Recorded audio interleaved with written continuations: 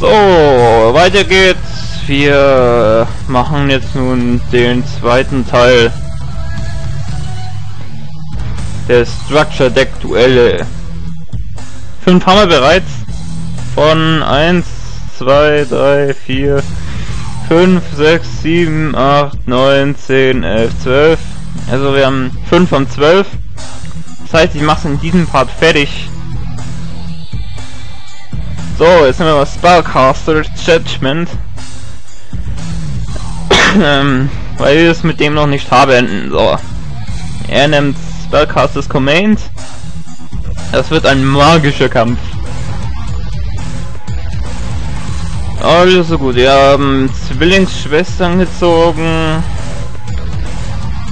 Magier. Den Magier, ja.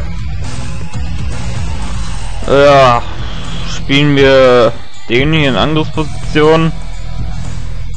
Effekt von dem, immer wenn eine Zauberkarte aktiviert wird, kriegt der Gegner 5, äh, 400 Schaden.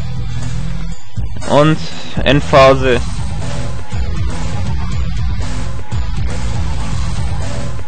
Er bietet sein Monster als Tribut an und holt magische Marionette.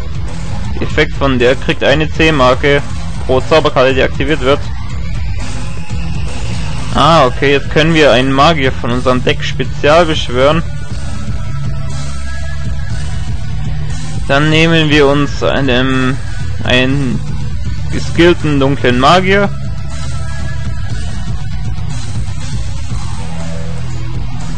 Er zerstört und der andere zerstört glaube ich auch.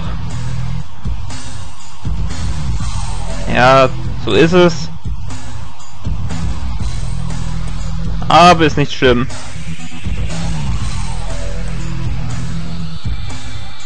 So, jetzt sind wir wieder dran.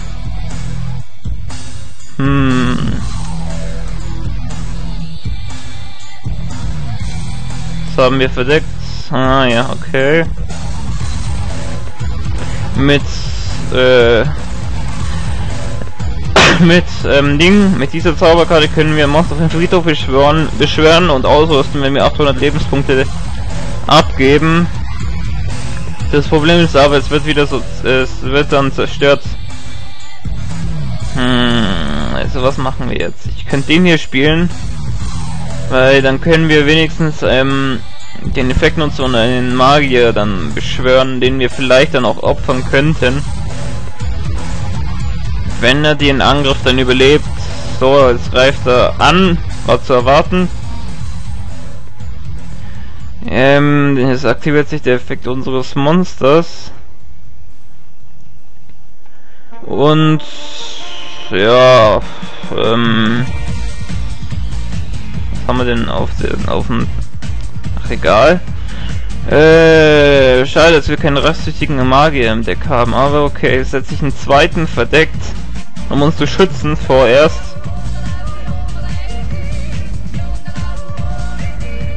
So. Jetzt können wir uns noch einen beschwören. Und zwar haben wir jetzt einen Magier des Glaubens. Ähm, um eine Zauberkarte auf vom Friedhof zurückzuholen mit dem Ziel. So. Ah, wir haben keine. Okay, hätte ich gar nicht verwenden müssen. naja, egal.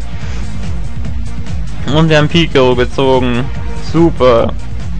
Ich freue mich nicht. Dann spielen wir ähm, die elfen Zwillinge verdeckt äh, in Angriffsposition und zerstören seinen Hund. Okay, wir kriegen 1900 Schaden, weil wegen seiner Fallenkarte. Und wir beenden unsere Runde Ihr merkt, ich spreche heute total gefühllos, weil das Spiel mir la mich langsam langweilt. Ähm, ja. Ja, er holt sich ein... Jetzt hat er ein volles Feld. Und, ja. er greift an. Und jetzt müssen sich unsere Lebenspunkte unter 3000 dezimieren. Ähm, ja, jetzt haben wir nur noch 1900, oder? Ne, mehr. 2100 Lebenspunkte.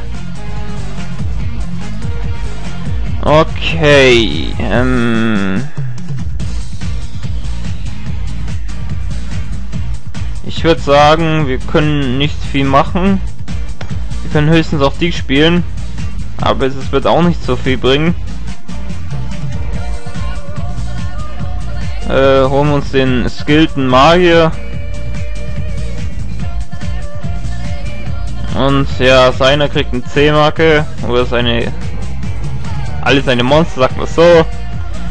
Und jetzt spiele ich dann Picaro. Und greife mit Picaro ähm, den hier an. Aha. Kriegt eine C-Marke, okay. Danke. Jetzt ist sein Monster stärker, viel stärker und wir verlieren. So. Na, noch nicht ganz. ja, beenden wir unsere Runde eben und dann greift er eben an. Ach, er will sicher gehen. Kann er ruhig machen. So, das war's.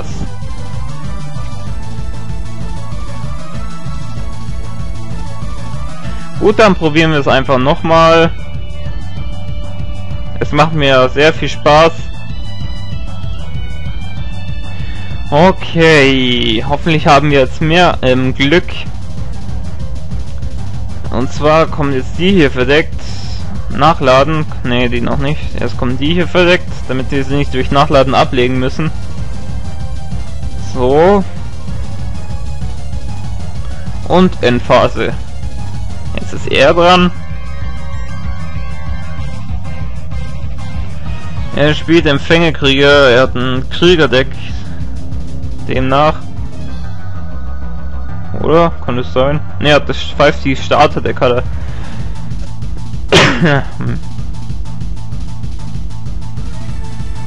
okay, jetzt kriegen wir Nachladen zurück. Hm, jetzt kommt ein direkter Angriff mit seinem Monster, macht aber nichts. Wir haben einen Blitzeinschlag. Und ja, damit können wir seine Monster fertig machen. Ah, die Karte ist scheiße, okay. Weil wir noch keinen schwarzen Mario auf dem Spielfeld haben. Der Effekt von der Zauberkarte ist, äh, wenn ein schwarzer Mario auf dem Spielfeld ist, zerstöre alle Zauberfallenkarte des Gegners. Wir müssen quasi erst einmal verdeckt setzen. Ich hoffe jetzt, wir ziehen vielleicht noch eine bessere Karte als die, was wir jetzt haben.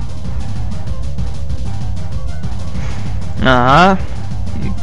Damit bin ich äußerst zufrieden. Wir können, ähm, ja, warten wir einfach mal, bis er was Stärkeres auf dem, also bis er mehr Monster auf dem Spielfeld hat und dann, wenn er das hat, dann kommt Blitzeinschlag.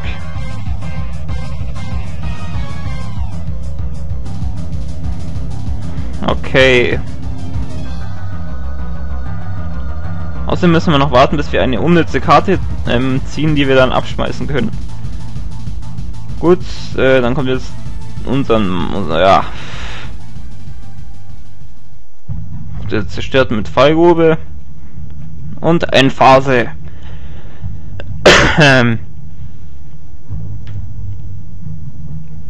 Ach, er kauft die Karte ziehen durch den Effekt seiner Falle. Und was kommt? Nichts. Unsere Zauberkarte wird zerstört. Ah ja, jetzt haben wir drei perfekte Zauberfallen oder so. Jetzt haben wir drei perfekte Karten auf der Hand, egal. So, setzen wir die drei erst einmal. Ne, lassen wir ähm, Kraft der Magie noch auf der Hand. Tornado. Er kann ähm, eine Zauber bzw. Falle von uns zerstören, wenn wir mehr als drei Zauber oder Feinkarten auf dem Spielfeld haben. Jetzt äh, kriegt er 1000 Lebenspunkte durch seine Zauberkarte. Jetzt spielt den hier, den Frequenzmagier, ist ein Empfängermonster. Ähm, ja, keine Ahnung, was er mit seiner 10-Marke vorhat. Er verstärkt sein Monster, okay. Gut, ich hätte vielleicht jetzt die hier verwendet, um uns zu verteidigen, aber okay, ähm, dann kriegt er eben 1900 Schaden als Vergeltung. Naja, macht nichts, dann kriegen wir halt immerhin ein bisschen Schaden. Naja, wenn wir im nächsten Zug eine heftige Karte ziehen oder ein Monster oder was weiß ich. Und wir hatten Glück. Ich spiele jetzt Brecher, weil ich mich sonst erbrechen muss. Hahaha. Kriegt ihr 10 Marke, weil es beschworen wird. Jetzt entfernen wir die auch sofort wieder. Um seine Fallenkarte zu zerstören. Sakuretsu-Rüstung hätten wir angegriffen, wäre unser Monster zerstört worden. Jetzt kommt Kraft der Magie. Verstärke unser Monster 500 pro jede Zauberkarte oder Fallenkarte von uns auf dem Feld. Hat daher unglaubliche 3100 Angriffspunkte. Jetzt machen wir seinen Empfänger kalt. Und ich rede hier von seinem schwächsten, also Monster ist sein Empfänger mit dem schwächsten Angriffskraft. ähm, kriegt 2300 Schaden. So, jetzt sind die Lebenspunkte wieder ausgeglichen. Und er ist dran. Ich werde jetzt später irgendeine fiese Karte, die unser Monster zerstört einfach. Na, macht er nicht, okay. Er versteckt sich. Ähm. Ja, okay, dann machen wir es eben so. Blitzeinschlag. Wobei, damit die Angriffsstärke unseres Monsters verniedrigt. Aber egal. Blitzeinschlag. Zack, abschmeißen. Alle seine offenen Monster werden zerstört. Und unser Brecher er bricht auf unserem Gegner. Gut, Endphase. Er hat zwei Karten, mit denen muss er sich jetzt retten. Na toll, er spielt Copycat. Ah, kopiert aber zum Glück nur die ähm, Grund-ATK. Ähm, Tsukuyomi fällt mir das ein. Ich spiele jetzt mal Tsukuyomi. Der Effekt von Tsukuyomi bringt ein Monster in die verdeckte Verteidigungsposition. Ich nehme jetzt mal seinen Copycat, weil es dann Angriffspunkte in, in Wert von 0 hat. So, es greift Tsukuyomi sein Monster an. Und ja, Brecher bricht auf ihn und beendet dieses Duell mit einem Sieg für uns. Gut. Ich spule jetzt fort.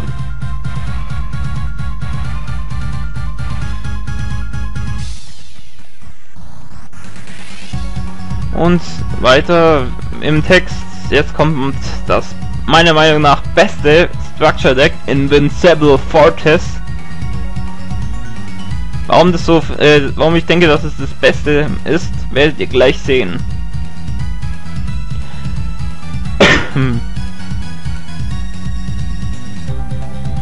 Ah ja, okay. Das ist übrigens auch das Deck, was ich gerne hätte.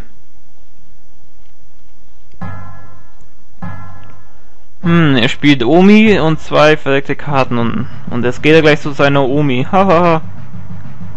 naja, okay, soll mir recht sein.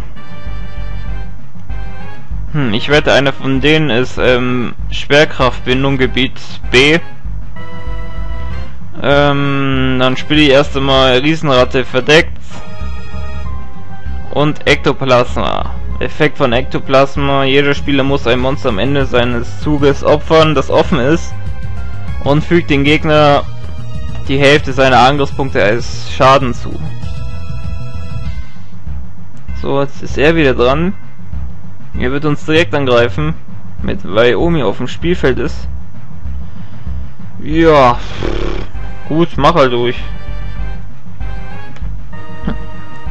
So schlimm finde ich das nicht. So, es aktiviert sich der Effekt von Ektoplasma, er muss das Monster opfern.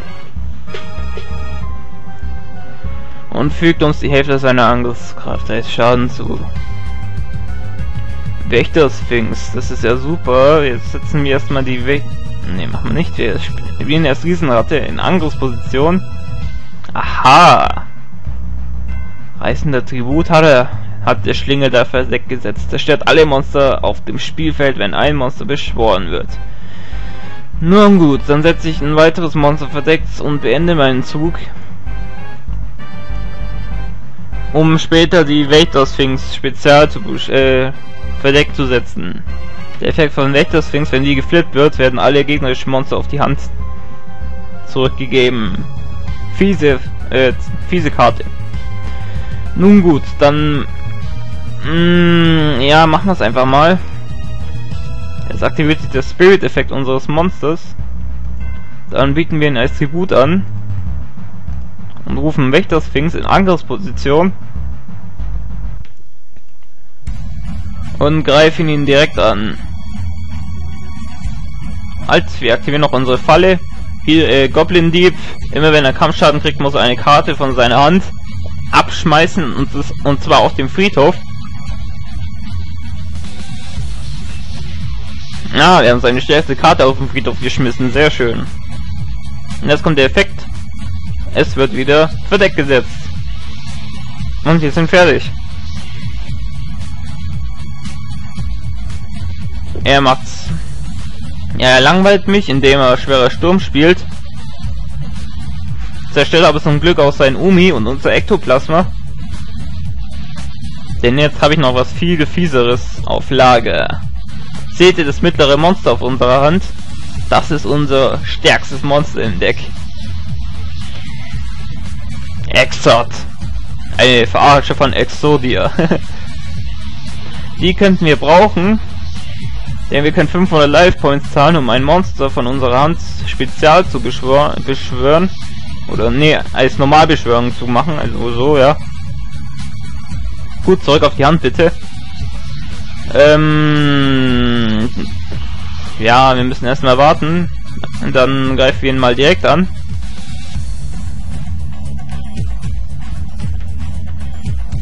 Sobald wir Cryosphinx auf dem Spielfeld haben, haben wir so gut wie gewonnen, weil Cryosphinx ähm, Effekt ist, dass wenn immer eine Karte auf die Hand zurückgegeben wird, dass sie dann auf den Friedhof gelegt wird. Aha, Anscheinend kann sein stärkstes Monster nicht spezial beschworen werden, deswegen ruft er sich seinen Burgott, Bugrott, keine Ahnung. Und hab keine Ahnung, ich weiß, was er vorhat. Ich weiß, was er vorhat. Aber ich kann es leider nicht verhindern. Nee, ich weiß nicht, was er vorhat.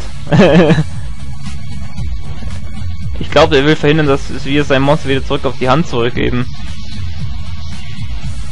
Schlau, schlau, schlau, aber das wird ihn nicht retten, wir machen es trotzdem. So. Jetzt kommt der magische Hammer. Allerdings setze ich den nur auf eine Karte ein, der ist wie nachladen, bloß dass dann, dann die Karten wählen können. Und ja, wir haben kein Tributmonster, äh, kein normales Monster gezogen, das wäre auch zu viel zu schön gewesen. Mm, jetzt kommt der Effekt zurück in die verdeckte, dann wird's geflippt. Und seine Monster kommt zurück auf die Hand. Ja, das passt nicht zu der Musik. Dann greift die Kryos, äh, die Wächter Sphinx ihn direkt an. Zack. Und falls er die mit einem Monster angreifen will, haben wir immer noch die hier. Die gibt sein Monster wieder auf die Hand zurück. Gut, er ist dran. Unser Monster liegt offen auf dem Spielfeld einem Angriff, er vermummt dafür einen Angriff. Aber er ist jetzt ein verdecktes Monster. Und ich habe gewusst, dass wir die jetzt ziehen, war reine Institution. Es kommt...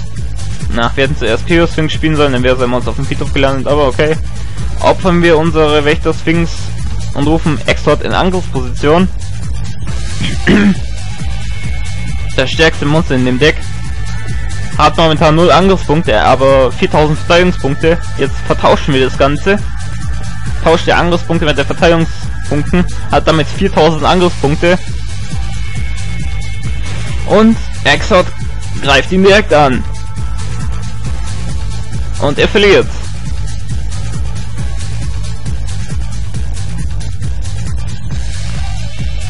War leicht. Und deswegen will ich dieses Deck auch haben. es geht. Ich meine, das Spiel entscheidet, in Klammer wie immer und leider. Okay. Gut, aber wir haben noch nicht annähernd alles geschafft. Wir haben gerade mal die Hälfte aller Structure Decks geschafft. Jetzt kommt Lord of the Storm.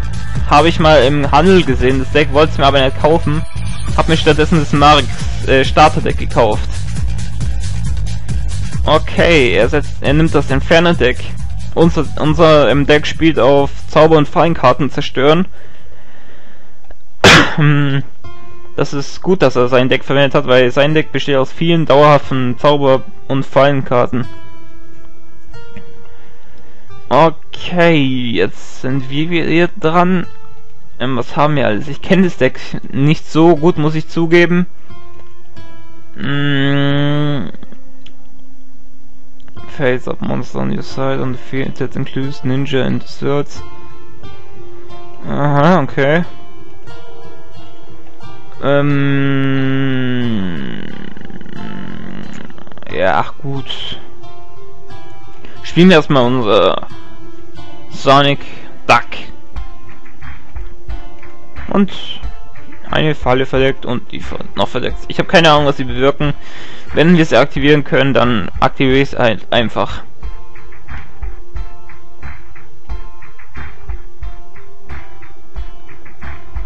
Er setzt eine verdeckte Fa äh, Zauber- oder Fallenkarte.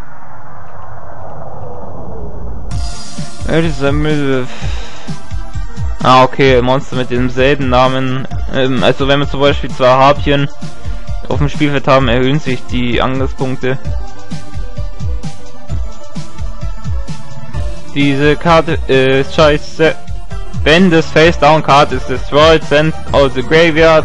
Also wenn die Karte von dem Feld zerstört wird und auf dem gelandet wird, können wir folgende Effekte aktivieren. Und das ist scheiße. Harpien Lady. Ich bin eine Lady. ähm, ja, das ist gut. Jetzt greifen wir erstmal sein Monster an. Oh, 2000 Verteidigung. Willst du mich verarschen? Die Karte will ich noch reintun in mein Deck. Aber ich weiß nicht, wo ich die herkrieg. Endphase. ebay wäre Option. Aber, ja, hoffen wir irgendwann mal in Ebay. Er macht nichts, weil er so lange nachdenkt. Gut, dass es hier eine Speed-Taste gibt. Naja, wir haben zwei Monster auf dem Spielfeld. Opfern wir sie einfach mal und holen unser stärkstes Monster im, in diesem Structure Deck.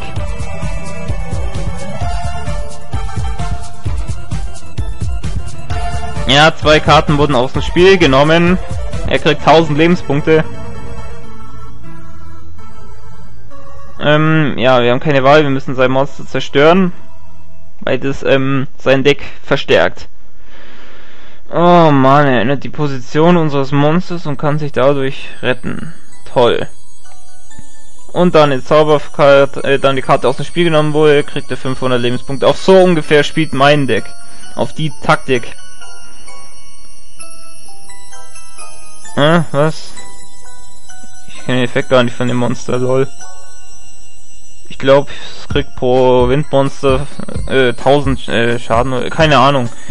Okay, das hätte ich nicht erwartet. Er legt alle seine Karten auf dem Friedhof, äh, entfernt alle seine Karten aus dem Spiel und zieht zwei neue. Mm, ja, er greift uns, zerstört mit die Überlebende unser Monster, das schwächer ist als seins als in die Verteidigungsposition geswitcht wurde, leider. Naja, aber gut. Er hat dafür jetzt fast seine ganzen Karten abgeschmissen. Jetzt kommt Nachladen. Eieiei, Baby-Spielsache der Harpien. Toll. Die, die überleben hat 1800 Angriffspunkte. Okay, wir können uns momentan nur verteidigen. So, jetzt ist er dran. ja, er greift an. Und zerstört.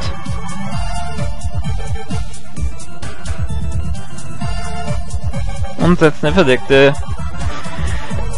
ja, Unterzug. Kartenzerstörung bringt uns wenig, weil wir keine anderen Karten auf der Hand haben. Toll. Okay, wir können nichts machen. Endphase. Er greift uns jetzt direkt an.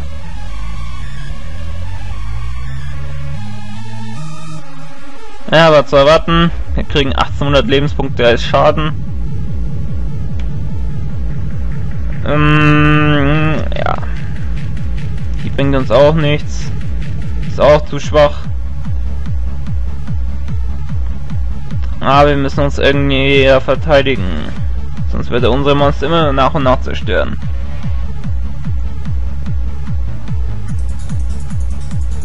Ja, muss ich nicht, ja, muss ich eigentlich nicht viel sagen. er greift an. Zerstört. Und setzt ihn verdeckt. Oh, super, super, super. Ich liebe es. Ne, jetzt kommt Kartenzerstörung. Egal. Na super. Können wir nicht beschwören.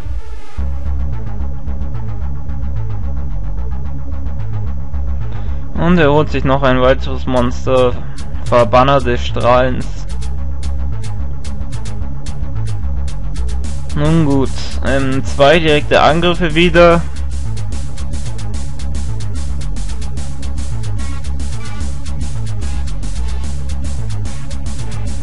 Fliegender Kamakiri kann uns vielleicht noch retten.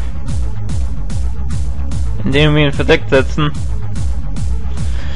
Denn der Effekt von fliegender Kamakiri ist wie der von mystischer Tomate oder Riesenschild, ne, Pyramidenschildkröte. Ja, aber jetzt kommt Adlige der Auslöschung. Ah, wir müssen sie aktivieren, sonst werden wir hundertprozentig verlieren. So, Effekt annullieren.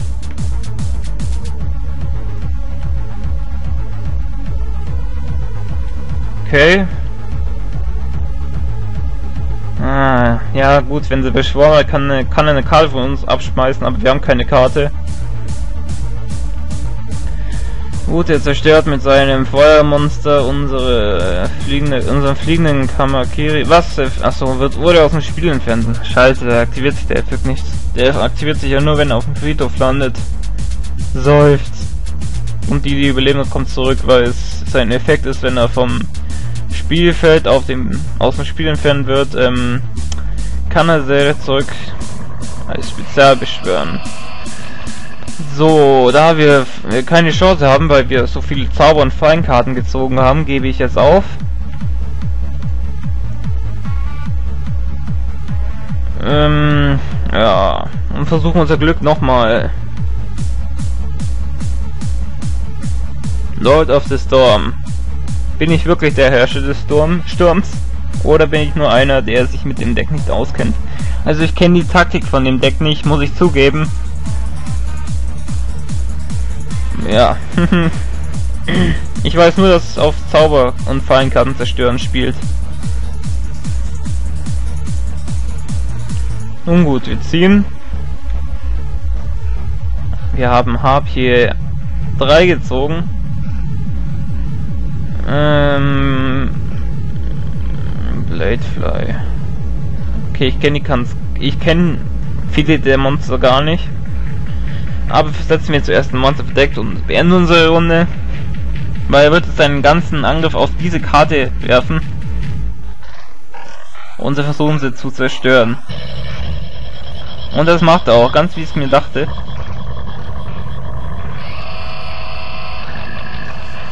Gut, dass wir kein stärkeres gezogen äh, gespielt haben. Weil, ja, ich wusste es dass sein ganzes, seine ganze Kraft auf diese einzelne Karte jetzt ausrichten wird. Und das passiert auch.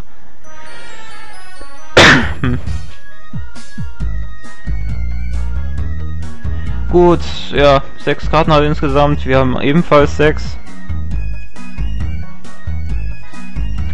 Ähm, mystischer Raumtelefon Zerstört eine Zauber- oder Feinkarte. Wir wählen natürlich noch nachladen.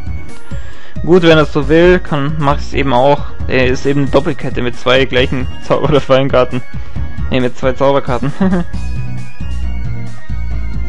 Kaleidoskop haben wir gezogen. Damit können wir Harpien, eine HP opfern. Und ähm, eine weitere Harpie, also Harpien-Schwestern beschwören. Aber wir haben kein Monster mehr, da wir Nachladen gespielt haben und jetzt kann er uns direkt angreifen. Und er opfert gleich zwei Monster und holt schwarzer Magier aufs Spielfeld. Und mit dem will er uns angreifen. So, er zieht uns bei 4 Lebenspunkte ab. Ne, 2, 5 Lebenspunkte ab. Ähm, ja gut. Äh, ja, spiele ich das hier einfach in Angriffsposition dieses Mal. Wir haben aber die hier gezogen, Icarus Attack Angriff. Wir können ein geflügeltes Monster, ein geflügeltes Biesenmonster opfern und zwei Karten von ihnen zerstören. Und damit können wir uns auch im nächsten Zug retten, egal was er spielt. Selbst wenn er Raigate gespielt, können wir uns noch retten. Ah, gut, dann aktivieren wir es ja einfach ein normales Kette. Da all eh alle unsere Zauber- und Fallenkarten zerstört werden. So, wir opfern eins und zerstören seine zwei Magier.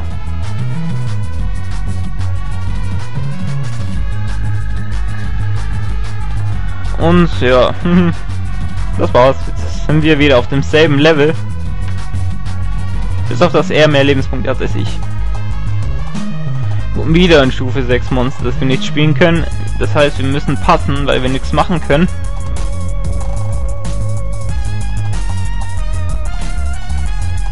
Okay, was macht er? Ja, passt ebenfalls. Hat wahrscheinlich auch nur Tributmonster wie wir. Na super, die Zauber, äh, die Falle bringt uns gar nichts. Endphase. Ich weiß, was die Taktik von dem Deck ist. Also langsam zweifle ich langsam an die Stärke dieses Decks. Nichts für ungut für die, die dieses Deck besitzen, aber ich habe keine Ahnung, wie dieses Deck spielt. Jetzt haben wir die Harpien-Schwestern gezogen, die können wir nur mit vornehmer Egoist, ähm, also mit Kaleidoskop beschwören. Ja, das ist jetzt ebenfalls nur eine verdeckte. Okay, dann kommt jetzt Staubtornado, die wir verdeckt gesetzt haben. Und zerstören sein, ja, sein Zauberschild. Wo jetzt sind wir dran? Wir haben immer noch kein Monster äh, doch, das kann man sogar spielen. as long as this card remains face up to the field, increase the attack of all wind monsters by 500. Und die größte Attack of... Ah ja, okay, ähm, erhöht die Angriffspunkte aller Windmonster um 500 und schwächt die Angriffspunkte aller Erdenmonster um 400 Punkte, diese Karte. Da es momentan unser, einz unser einziger Schutz sein wird, müssen wir sie verdeckt setzen. Denn wenn sie offen sind, sieht er die Karte und wird sie wahrscheinlich zerstören. Ah, okay. Er holt sich seinen dunklen Magier wieder. Das heißt, wir hätten vielleicht unseren Staubtornado noch aufheben sollen für diese Karte. Er wird sie zerstören. Und wir sind wieder auf ungeschützt auf einen Angriff aus. Und wir haben wieder kein Monster gezogen. Seufz.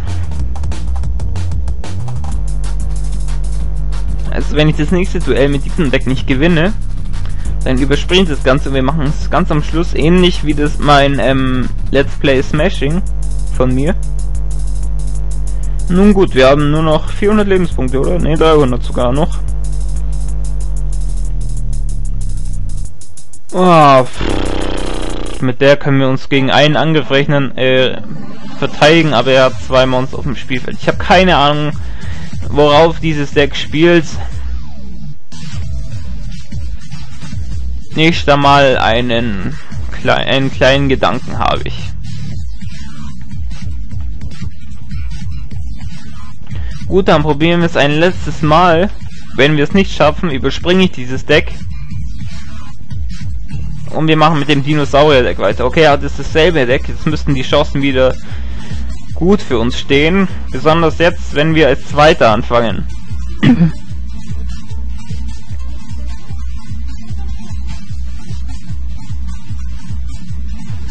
okay, wenn er seine vielen Zauber- oder Fallenkarten spielt, kommt unser schwerer Sturm. Ich hoffe, er spielt viele. Er hat zwei nur gespielt, okay. Ähm, ja, gut, dann schwerer Sturm eben und fegen sein Feld weg. Er kommt, er benutzt Tollkühne um zwei Karten zu ziehen. Dafür überspringt er aber seine nächsten zwei Ziehphasen. Ähm, äh, okay, der Effekt von Schallrase ist, wenn keine Zauber- oder Fallenkarten auf dem Feld des Gegners liegen, kann diese Karte direkt angreifen. Und genau das verwenden wir jetzt auch. Direkter Angriff. Zack. So, ich habe keine Ahnung, was die bewirkt. Achso, ja, die wir hätten die zuerst spielen sollen und dann hätten wir ähm, schwere Sturm spielen sollen. Aber ich kannte den Effekt von der Karte nicht. Okay, er spielt, ja gut, die ist gut für uns beide, die Feldzauberkarte. Ich frage mich, ob er Harpien auf in seiner Hand hat. Gut, er spielt zwei weitere Karten, verdeckt. Es müssten die sein, die er gezogen hat.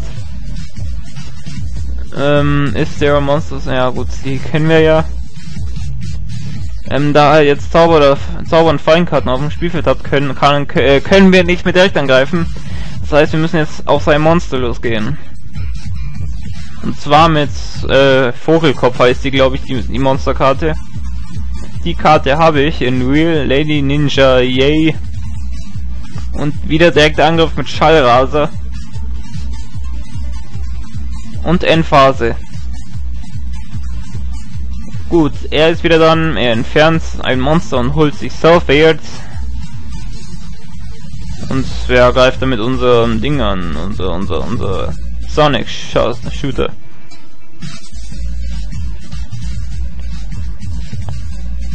Schallraser heißt die, ne? Okay, zerstört's. Kein Drama. Mystischer Raumtyphon haben wir gezogen. Ich probiere es einfach mal. Mystischer Raumtyphon. Und zerstören unsere Verdeckte. Jetzt müsste sich der Effekt aktivieren. ähm, discard one card for random for your hand.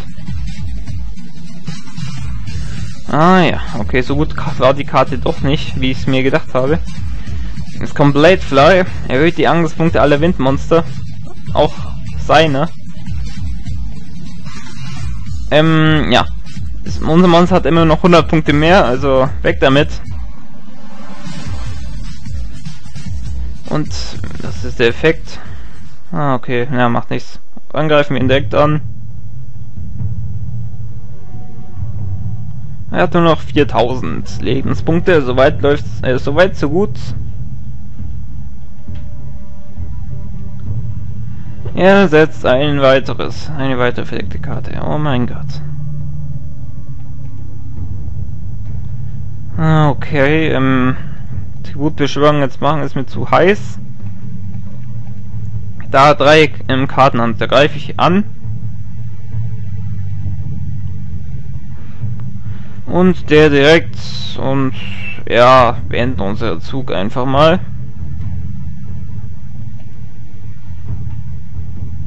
Ah, was ist los? Jetzt. Warum ist ein Tribut beschworen wollte? Er hat bestimmt eine Fallenkarte, die unser Monster zerstören wird und wir müssen zwei Monster opfern. Gut, äh, ja, was soll's.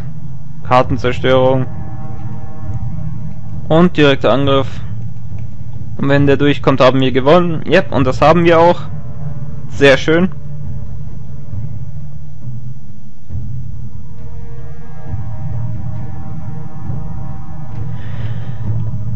Ähm, sorry, dass ich dauernd husten muss. Ich habe eine Erkältung.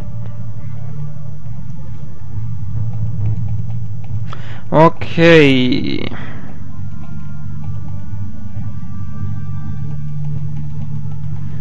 Gut, es sind gar nicht mehr so viele Decks. Wie viele Decks sind es noch? 1, 2, 3, 4, 5, 6, 7, 8, 9. 9 Decks sind es noch. Das heißt, wir haben, oder, ja, ich weiß gar nicht, haben wir die Hälfte schon? Ich glaube, wir haben schon die Hälfte, ne? Okay, dann mache ich einen Deck noch und dann beende ich diesen Part. Oh, er hat das Erddeck genommen.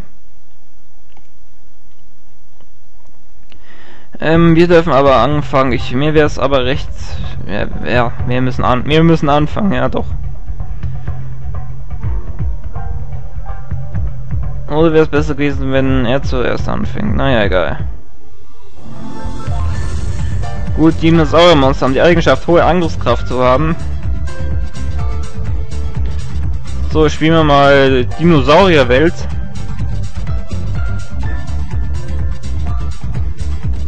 Ähm, und die, ja.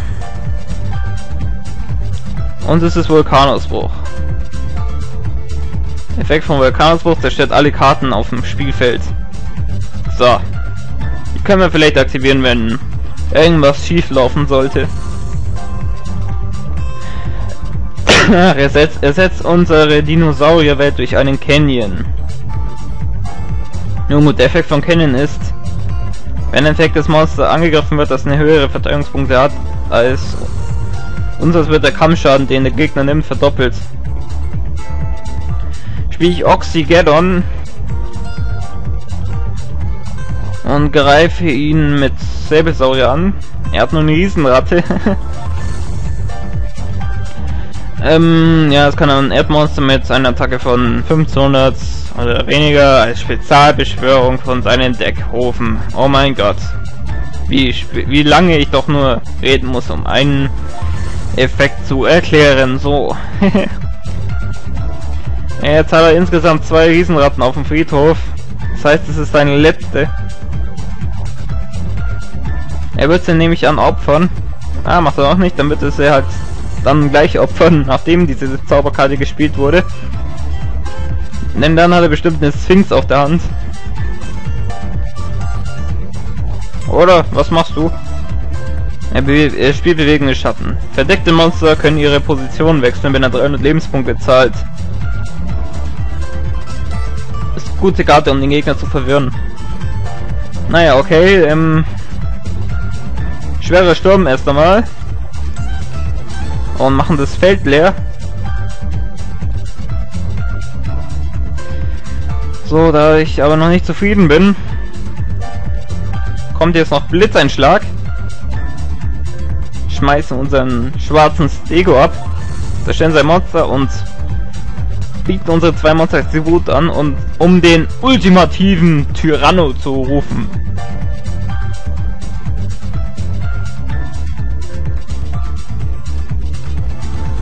Und Angriff, direkt Angriff. Wam, jam, jam, jam. Lecker, lecker Menschenfleisch, was? Endphase.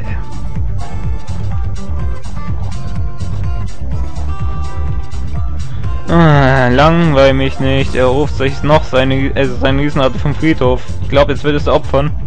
Aber egal. Die Verteidigung, äh, die Angriffskraft unseres Monsters ist viel zu hoch. Selbst wenn er seine Wächter-Sphinx spielen sollte.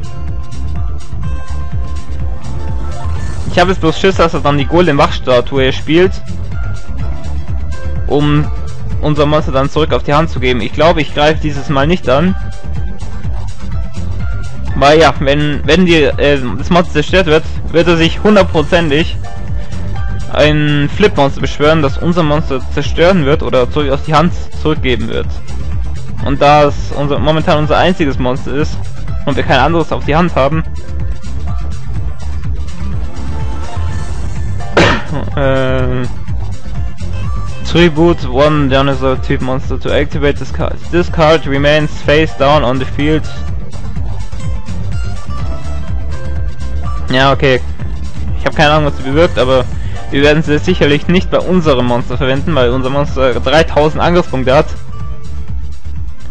Hey, es kann zweimal angreifen. Hat geil, ist das, hat das Style. Okay, dann machen wir erstmal nichts. Dann greifen, dann nutzen wir den Effekt um. Ich glaube, wir müssen angreifen. Ich will aber nicht angreifen. Jetzt holt er sich seine Golem Wachstatue zurück. Oder irgendein Monster. Ich kann das jetzt schon vorher sagen. Was? Macht er das nicht? Naja. Okay. Er spielt wieder ein verrücktes Monster. Schade, dass wir kein Adlige der Auslöschung im Deck haben. Finstere Triceratops. Geht durch Verteidigung, aber ich finde unser Monster ist momentan ähm, keine schlechte Wahl. Wenn es auf dem Feld ist. So. Ein weiteres Monster von ihm ist auf dem Friedhof ich hoffe, er holt sich nicht seinen Drachen, den er spezial beschwören kann, wenn er Monster von seinem Friedhof aus dem Spiel nimmt. Schild und Schwert, tauscht die Angriffspunkte. Das heißt, unser Monster hat 2200 Angriffspunkte. Toll. Und er beendet seine Runde. das war der dümmste Zug ever. Das war der dümmste Zug ever. Oh mein Gott. Die Karte hat er in dem, auf dem Friedhof geschmissen. Einfach so. So, direkt Angriff. Und der beendet das Ganze. Bam.